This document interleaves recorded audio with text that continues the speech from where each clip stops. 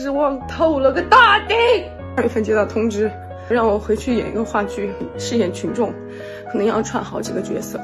没有任何犹豫，我直接就答应了。而且你让我多串几个角色，我都觉得我很开心，因为角色不分大小。他刚刚给我发消息说，我演出费是六百块钱一场。学刚毕业那会儿，我大剧场就是最低八百块钱一场了，小剧场最低六百块钱一场。